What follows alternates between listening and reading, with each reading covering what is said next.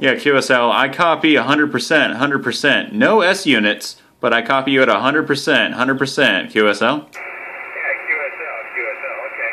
Well, this is better than you. Would you say this is a better signal than the uh, than the whatever that thing was, the the, the helical or the other thing, the uh, quagi? Would you say it's better than either of those?